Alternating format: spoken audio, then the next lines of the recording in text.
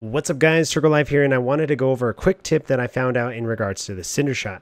This is a weapon that you get from ordinances that drop in or from map spawns. When you hip fire the weapon, the projectile just gets shot out and bounces off the ground and then eventually explodes. However, if you zoom in with the weapon, you are able to control the direction with your cursor or left stick.